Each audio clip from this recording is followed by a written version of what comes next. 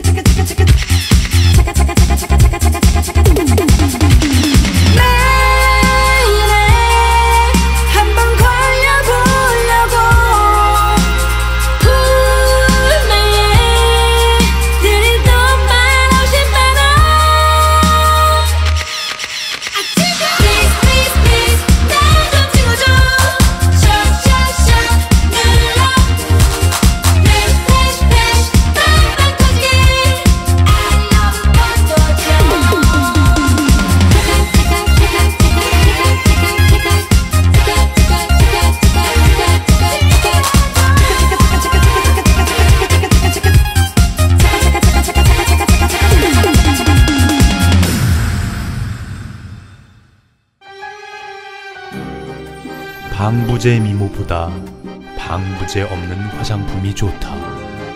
건강한 아름다움의 비결